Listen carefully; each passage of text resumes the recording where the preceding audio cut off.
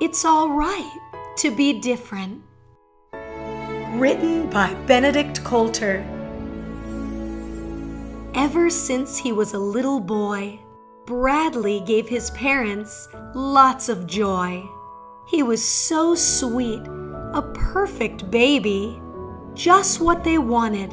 They were so happy.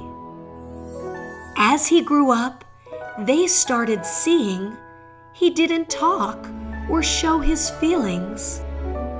He would get mad and started hitting. He had a hard time communicating